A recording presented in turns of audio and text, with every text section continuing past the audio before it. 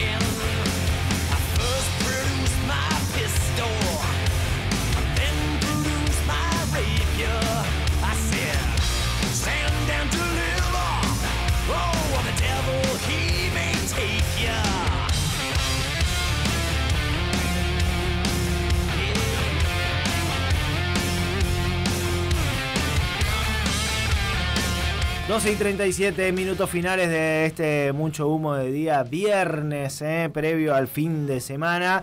Y como es habitual, vamos a repasar un poquito de lo que tiene que ver con agenda y con lo que se está disputando. Pues se está disputando la última fecha de la Liga Profesional de Fútbol previo al parate. Se están disputando los amistosos internacionales también de cara a lo que es la Eurocopa que comienza hoy y la Copa América que comienza, si no me equivoco, el jueves que viene, viernes que viene. eh, en el partido inaugural que la Argentina va a estar enfrentando a Canadá, ni más ni menos. Así que seguramente de eso y algunas otras cositas más. Imagino básquet por regatas, vamos a estar hablando en la jornada de hoy con Ulises. Eh, así que Ulises, todo tuyo. ¿Cómo estamos muchachos? ¿Todo bien? Todo Ahora bien, sí, todo los saludo tranquilo. oficialmente. Y como decías, se, se empezó a jugar la quinta y última fecha de la Liga Argentina previa al parate por Copa América. Eh, ganó Independiente. Es, eh, se jugaron los tres grandes, Independiente, Sí. eh, River y también jugó Racing, pero vamos a empezar por el rojo, que le ganó 2 a 1 a Banfield con goles de Santi López y de Gabriel Ábalos, que marcó su tercer gol con la camiseta independiente. De penal en este caso. Sí, de penal. No, no le viene siendo fácil al ex jugador de argentino marcar. Está como en, un, en una distancia de, de mucho de, de- mucha mufa, digamos, viste, como, como cuando suelen festejar y se sacan la mufa. Bueno, eso le anda pasando al, al paraguayo que convirtió y le dio la victoria a Independiente en la, en la espera de lo que fue la presentación del día de ayer de Bacari como nuevo director técnico. Finalmente, el ex técnico de Defensa y Justicia eh, firmó hasta 2025 Ujú. y se va a hacer cargo del equipo luego de la, de la Copa América. Justamente juega contra Instituto en la próxima fecha, un instituto que hoy es líder, con 10 puntos del campeonato hay 6 líderes. Así que bueno, ese será el, el panorama de Independiente a futuro. Eh, veremos a ver cómo qué, qué estilo le, imprime el, el técnico que, pa- que pasó por Vélez al equipo de Avellaneda. Además de Racing, además de Independiente, perdón, vamos a pasar ya por el otro equipo, por el otro equipo de Avellaneda, ya que estamos. Perdió ayer 2 a 0 con, con Lanús.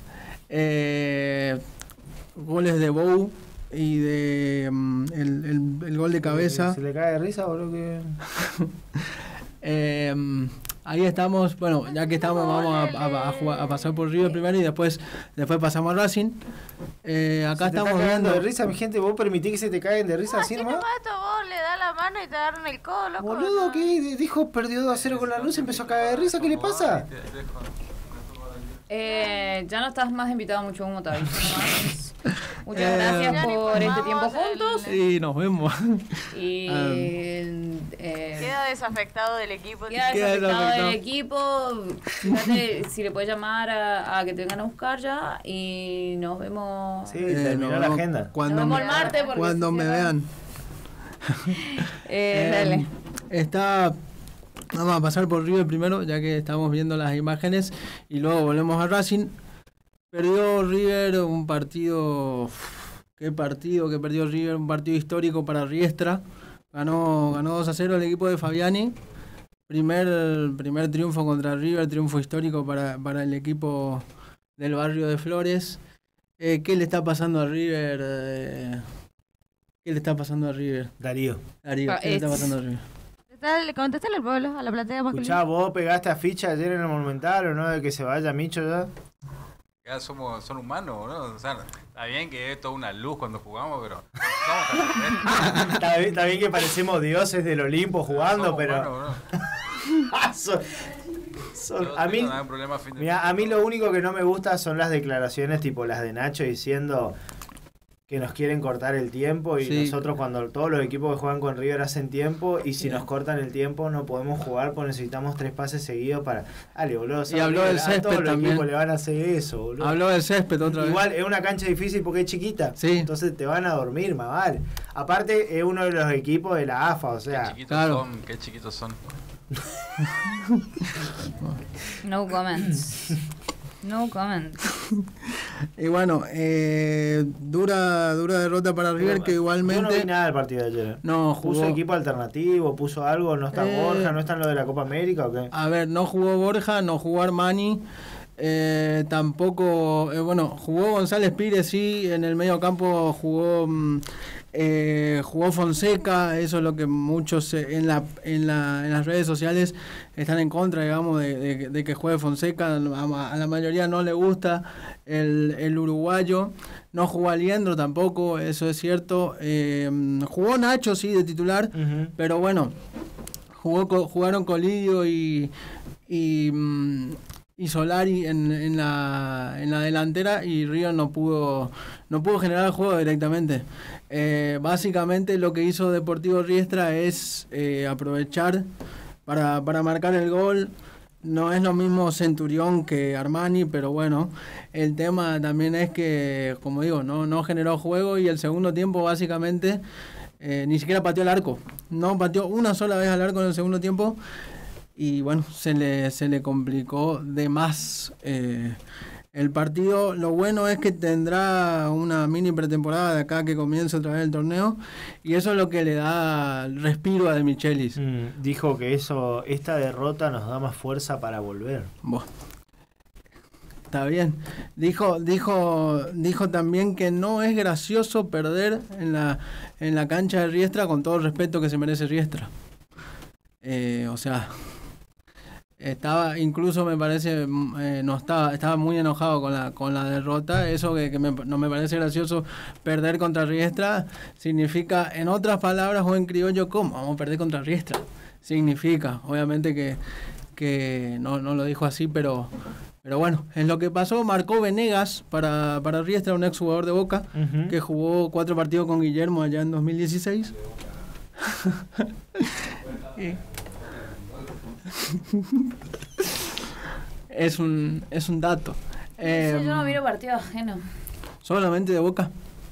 Yo no, miro, yo no miro partidos ajenos, yo miro los partidos de mi, de mis equipos. O sea, del Borussia, Borussia, y de Boca. Boca. Y alguno que sea particularmente muy interesante, que, que por ejemplo para mí Aldo sí tiene lindos partidos a veces, Talleres tiene muy lindos partidos a veces. Como que lo miro más a nivel fútbol que por Claro. otra cosa, no importa por ahí el rival, pero... Bien. Pero sí, me muchas gracias, Jerry. Me, me fui a la peluquería. Mi peluquera es súper de River. Y siempre ahí. Él sí mira partido ajeno. y demás. Me dice. eh, yo justo estoy esperando con otro chabón. Dice, y ninguno de los dos espero que hayan venido hoy para cargarme con River, ¿eh? Yo, eh, yo no sabía ni que perdió, ni con quién jugaba, no, no sé quién es Yo- Deportivo de Riestra que, que ascendió ni hace, ni me acordé que Boca jugaba hoy. Hace una temporada. hace una temporada. Pero ayer entré a YouTube y lo primero que me apareció fue que Radio La Red estaba transmitiendo en vivo. Y Sí. decía River Riestra. Y le dije, wow, ¿qué onda? Puse. Así al toque vi que perdían 1 a 0 y dije, no voy a poner partido. Porque yo pongo el partido y a los 5 minutos empata River. Cerré. Después Sí. miré, porque empecé a ver comentarios en grupo de un compinche que es riverista y puso, eh, no era con Borja, no era sin Borja, no sé qué, y ahí bueno, vi que perdieron 2 a 0. Así me enteré. Sí. Tengo una pregunta sobre Deportivo Riestra. Mm. ¿Qué tipo de em, cuestión futbolística política pasa que ascendió desde la Desde la, D, ¿no? Es como Barraca Central. Y no Sí. es un buen equipo como No, a ver, hay mucha- es- o sea, hay teorías conspirativas Sí, hay acerca de que hay guita. Es como Barracas. Sí. Lo mucho mismo. Hay mucha suspicacia alrededor de que Riestra es del riñón de, de, de, de este muchacho, como es, de, de el presidente de la AFA, eh, Tapia. del Chiquitapia, ahí está, ahí me acordé. Y lo mismo, como dice Fabi, lo mismo que Barracas, o sea, ha tenido partidos en donde ha sido ampliamente ayudado por el arbitraje. Y, mm, y bueno, o sea, vos eso- decís que es más ilegal de cómo. River volvió a la A. No, sí, exactamente, no. Eh, No escuchó. no escuchó, perdido. Bueno, eh, sí, hay, hay suspicacia alrededor de Deportivo Riestra, igualmente, así como lo hay con, con Barracas, obviamente. Eh, pero bueno, justamente este partido es el primero que ganó en este campeonato, eh, Deportivo Riestra, en cinco fechas. Y, y ahora a River le toca esperar nomás. Se habla de que el- en, en el, en el mundo de los periodistas, digamos, se habla de que el partido contra Talleres por octavos de la Copa Libertadores es el partido para, para De Michelis. Yo creo que con este tiempo va a tener un poco más de calma con este tiempo de Copa América y Eurocopa para armar el, el- su equipo. Aparte se habla de, de algunas eh, incorporaciones como Vareiro, como el, arque- el ex arquero de Central Jeremías Ledesma. Volvió Felipe Peña Viafore de Lanús, así que veremos cómo se arma. Eh, y bueno, ahora, ahora sí que estamos, pasamos de River a Racing, al equipo, al equipo de Gustavo Costas, Dale, capo, metele nomás. que perdió con Lanús, 2 a 0. Em, goles, goles de Bow eh, para poner em, el, el segundo. Y el primero, ¿quién lo marcó? Mm, el primero, bueno, ahora le digo el nombre del, del que marcó el primer gol. Eh, lo, lo cierto es que fue el triunfo para Lanús que quedó con 8 puntos a 3 de los de los de los a, a 2, mejor dicho, de los de los 6 punteros que hay hoy. Carrera fue el que hizo el primer gol. Eh, exactamente, Ramiro Carrera de cabeza, un gol, golazo.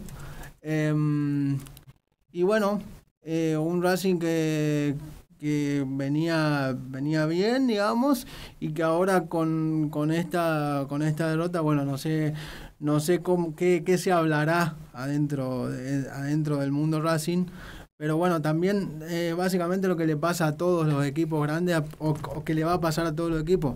Con esto de la Copa América y Eurocopa van a tener un tiempo para, para descansar, para pensar y, y no, y por eso no es tan duro, creo, tan dura esta derrota. Veremos, veremos qué sucede después también en, en Copa Sudamericana para, para el equipo académico. Eh, bueno, ya hablando, habiendo, hablado de River, de Racing y de Independiente, tenemos que hablar de que hoy juega Boca. Hoy juega Boca a las 7 de la tarde contra Vélez. El equipo de Diego Martínez va, va a buscar terminar el. pausar el semestre con una victoria. Eh, juega. Aparentemente juega, juega Cavani con, con Merentiel arriba. Vuelve Anselmino a los concentrados, también volvió Figal. Y bueno, hay que hablar de la incorporación de Gary Medel, que fue presentado ayer como. Traeme nomás un geronte. Escuchá, eh, mi abuelo jugaba en el 78, fíjate si lo quieres traer. Encima dice estoy muy contento de que vuelva a Boca. Dale. Boludo, me estás cargando. Anda al geriátrico y tráete siete jugadores, entonces Ojalá la puta que te boca, parió. pero- No, pero por más de que te tape la boca, Aparte, ¿dónde va a ¿cuánto más te puede tapar la boca? O sea, ¿cuánto tiempo le queda a una persona de 37 años jugando a un nivel de fútbol no. profesional? Aparte, él O estaba sea- jugando de central ahora. Claro. Así que qué bien en Eh, vez de Valentini. No, ahora se dice que viene a jugar de volante igualmente. Porque lo piensan a Anselmino como titular toda la temporada y a, y a, Po- a, Paul- a Gary en el lugar de Paul. Eh, o de cinco tapón. Veremos qué, qué es lo que va a hacer Diego Martínez. Eh, como digo, se suma Julián Ceballos también a la, mm, a la lista de convocados. Es un, un, un chico de la reserva que, que ya ha tenido tiempo en, en el banco de suplentes de primera. Y bueno, Boca va contra Vélez, que jugaron 176 veces en el profesionalismo. Boca ganó 90, Vélez 45 y empataron en 41 oportunidades. Ese es el partido de Boca hoy que cierra la, la, la- la primera parte del, del semestre y luego va a tener que viajar a Quito en julio para jugar contra Independiente del Valle por, la, por los playoffs de la Copa Sudamericana. Se habla de incorporaciones en Boca también, de más incorporaciones como Toto Belmonte, eh, aquel jugador de Toluca. Se habla también de Velasco, jugador que está en la MLS, en el Dallas de la MLS. Eh, y algún que otro nombre que seguramente se me está perdiendo. Se habló de James, pero me parece que es más un, un- un- humo que otra cosa.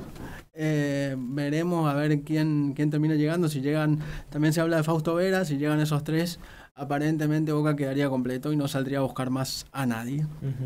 Veremos qué pasa. Entonces eso es lo que tiene que ver con Boca y para ir cerrando pasamos a la selección, porque juega después. Después del partido Boca, Argentina enfrenta a Guatemala. Sí.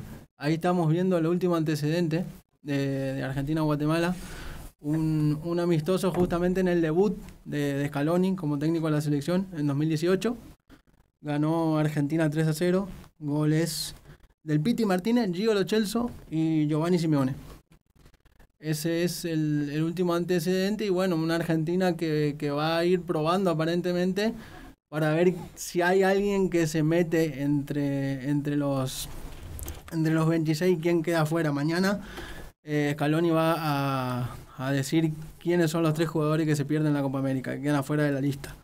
Se habla de Valerdi y de Valentín Barco como los fijos. Seguramente si sale Barco yo creo que irá al sub-20 con Mancherano, al sub-23 mejor dicho. Después, bueno, hay una duda porque aparentemente Valentín Carboni hoy va a ser titular. Eso es lo que, lo que estaba diciendo ayer de Gastón Edul.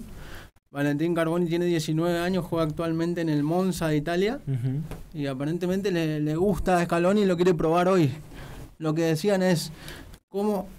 O sea, lo que se preguntaba, mejor dicho, ayer es si va de titular es porque va a la Copa América. Es que Guatemala no te sirve para probar nada. Claro. Me ponen a mí contra Guatemala y capaz que me llevan a la Copa América, sin desmerecer al fútbol guatemalteco. Claro. Pero en cuanto a niveles no hay manera de comparar ni de evaluar. En un partido así como es, contra Ecuador hubiese sido una Sí. prueba, por ejemplo. Sí. Si lo ponía Carboni hubiese lo hubiese evaluado con una selección de jerarquía. Lamentablemente Guatemala no tiene la misma jerarquía que tiene la selección argentina y por lejos no tienen la jerarquía que puede tener la selección de Colombia, Ecuador, Sí. Venezuela incluso te diría. Eh, ni hablar Chile, Uruguay, Brasil, Paraguay, Mm. pero no creo que este sea un partido en donde él defina cosas. Él ya Claro. tiene todo definido. Este, insisto, porque no creo que Guatemala sea una una cuestión de referencia para Claro. ver si su, más sobre todo si tiene que elegir con alguien que está jugando en Europa. Este, ya el hecho que juegue en Europa le da nivel. Entonces Sí. no creo que sea Guatemala lo que determine si, si rinde o no rinde, digamos. Sí, la, la pregunta que se hacían ante la titularidad de Carboni es que si va, ¿quién es el que sale? Eh, porque quedan nombres, nombres fuertes, digamos, más allá de que, como dicen, Valerdi y Barco son dos fijas. Y entonces, ¿quién sale? Eh, se hablaba de, de, de- de Correa, de Angelito Correa, veremos a ver si, si, mm, si es al final él. Se hablaba también de los Chelsea, yo creo que los Chelsea va de cabeza a la Copa América por una cuestión de grupo y de lo importante que, que él es en el, en el juego del equipo. Entonces, la verdad que hay una, una duda que no, que mañana nos va a sacar a todos Scaloni cuando, cuando nombre la lista. Nico González no podría salir. Eso es lo que yo también me pregunté. Hoy juega de titular justamente, o jugaría de titular. Em, Sobre todo pensando en que se dice que, bueno, un poquito se empezó a romper la relación adentro con, Claro. con Nico González, sobre todo después de lo que hizo en Qatar, medio que ahí ya lo empezaban a ver de reojo. aparte eh, está Garnacho hoy de su lado. Sí, igual para mí Garnacho, ojalá que le vaya bien a Garnacho, pero tampoco le tengo le pongo tantas fichas a Garnacho, digamos. Sí. No, no es alguien por, por el que vos digas, uh, mirá la joya que estamos teniendo, creo que a Garnacho le falta mucho todavía y le faltaría competir en otro equipo. Creo que el Manchester United no va a ser el equipo donde Hoy- él pueda crecer. Sí, puede ser. Aunque es titular en el equipo, pero bueno, eh, podría, podría dar otro salto para ver en qué condiciones está, digamos, Qué si feo es realmente la, la promesa. ¿Eh? El Qué mini feo, bicho. Garna- qué feo, Garnacho. Parecido a Cristiano. Y- Sí. No. Sí, es parecido, tiene un ¿Vos aire cristiano. decís? Hay veces que vos le ves la imagen, las facciones de la cara y tiene un aire cristiano. Para mí Eh, es como algo así medio de la evolución de las especies, no terminó. Eh, ¿Cómo era que.? Aparte habla re raro, habla Sí. como el bicho, habla Habla- como cristiano hablando portuñol, ¿entendés? Eh, y justamente para terminar con, la- con lo de las elecciones, Juan Messi de titular, seguramente preparándose para, para el jueves que debuta Argentina con Canadá. Sí, igual va a jugar 45 minutos, seguro. Sí, seguramente no, no se va. No va a jugar no mucho tiempo. Exactamente. Porque ya dijo en, en, en una entrevista que no, no- hoy no puede jugar todos los partidos. Cuando le preguntaban si iba a ir a los Juegos Olímpicos, no. Con la edad que tiene, no puede, no puede jugar todo, tiene, tiene que elegir, digamos. em, los amo, chicos, dice el zar de las finanzas, que me gustaría saber quién es. Sí, Eh, sobre todo para que me dé consejos. Si es tan sí, bueno, sí, que me ayude a que ser me no ayude sé, a ser su millonaria. súbdito, pero o miembro de su corte. Despedido, dice, no, ah, no jugó el chileno Díaz para que para mí es mejor. Em, Bueno, Claro. Se te no cagan jugó. de risa Domi, mandalos a la pausa. Yo no me reí, fue Uli y está despedido por eso, desafectado del equipo. Y por supuesto, no puede faltar. ¿Qué no puede faltar en este momento? ¿Quién no puede faltar? Que le manden a la puta chiquito. Romero, retírate. Y si le tienen al viejo tronco de Romero renovando por no traer más viejos, que piña en la frente le hace falta a Riquelme. En la frente, bien. Em, Había, había visto un, un video en la semana, ah, no, ahora no lo voy a encontrar, pero me, se me puso la piel un poco de gallina de un vago español que hace así videitos eh, sobre fútbol y Iker distintos Ruiz. jugadores. Quería que sí, no sé, Sí, un sí. rubiacito que habla al micrófono. Sí, sí. eh, que tiene una capacidad para expresar Sí. este, lo no sé, de una manera magistral lo que siente y lo que implica para mucho el fútbol, eh, que empieza haciendo un raconto de lo que es la Copa América y la Eurocopa y lo que va a implicar en cuanto al salto generacional. Sí, sí. O sea, se pusieron a pensar que puede ser la última Copa América de Messi, la última Copa, la última Eurocopa de Cristiano. de Cristiano. Sí. Eh. Y cerrás un ciclo, la prueba para. Hendrik, la prueba para Vinicius Junior, para Garnacho. Monicius. Eh, y, y después con todo esto que se armó entre si la Eurocopa es mejor que el Mundial, Mbappé diciendo ¿Cómo una va a decir cosa, eso? Mbappé es un ridículo, Messi diciendo, mirá, la verdad que este jugar una Eurocopa y en la Eurocopa no está Brasil que es pentacampeón del mundo, no está Argentina que es tricampeón, no está Uruguay que es bicampeón, le están faltando selecciones y ahora Modric dice, entiendo lo que dice Mbappé, pero para mí el Mundial es más difícil que la Euro, está Argentina, está Brasil, Sí. Uruguay, Chile y otros grandes Sí. equipos. Eh, nada, estas cositas que tienen los torneos que por ahí pasan volando y que no tienen tanta envergadura como un mundial porque los, se juega continentalmente, Sí. eh, pero al que le gusta un mes de fútbol a la mañana Sí. y donde te sentás a las 3, 4 de la tarde y terminás a las 11 de la noche Sí. mirando bueno. la Copa América. Ah, bueno, sí. Y justamente hablando de, de Eurocopa, para terminar, hoy arranca la decimoséptima edición del torneo. Eh, abre Alemania el anfitrión contra Escocia eh, por el grupo A a las 6 de la tarde. eh, la, la apertura de este torneo eh, que, que tiene al campeón defensor Italia, que tiene a los más ganadores España eh, Alemania con, y Alemania con 3. Y bueno, veremos a ver quién se queda con esta con esta edición que trae una particularidad. Además de clasificar a los dos primeros de cada grupo, clasifica a los cuatro mejores terceros. Claro. Así que veremos. Para mí la sorpresa va a ser Albania. No me pregunten por qué, pero va a ser Albania. Es como el meme que vi en la semana de empieza la Euro y tu tío diciendo ojo con Turquía. Está. Me, me pasa. Está. O sea, el mismo argumento, ¿entendés? Albania, no me digan por qué, pero.